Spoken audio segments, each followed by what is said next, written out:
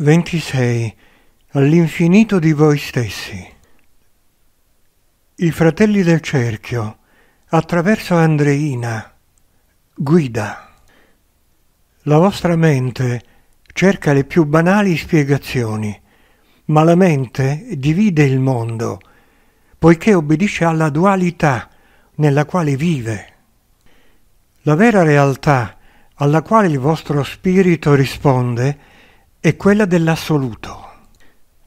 Ogni frammento di timore, di dubbio, di incertezza e di paura sono destinati a dissolversi nell'oceano imperturbabile dell'amore.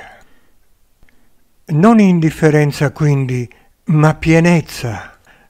Perseguite sempre la via che sentite più diritta per voi, anche se piena di curve e di ostacoli. Sarà l'unica che vi porterà all'infinito di voi stessi e di tutto ciò che è.